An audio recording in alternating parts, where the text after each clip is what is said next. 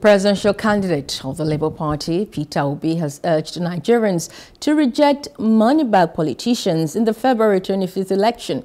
The former Anambra State governor also asked Nigerians to shun ethnic and religious sentiments in voting during the forthcoming presidential election.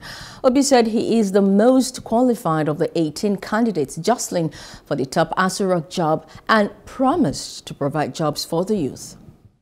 He agrees with Obasanjo's endorsement that Peter Obi is the guy read it very well. Yes. So that's where we start. Your reaction to the money bag? Leave, money bag.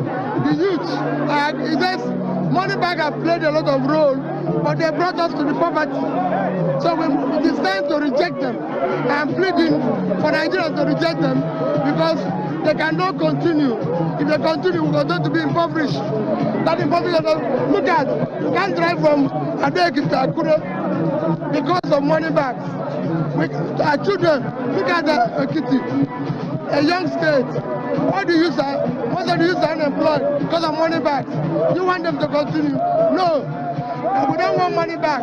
We want to give the youth job. We want to give them a future. We want the country to change. Hello. Hope you enjoyed the news. Please do subscribe to our YouTube channel and don't forget to hit the notification button so you get notified about fresh news updates.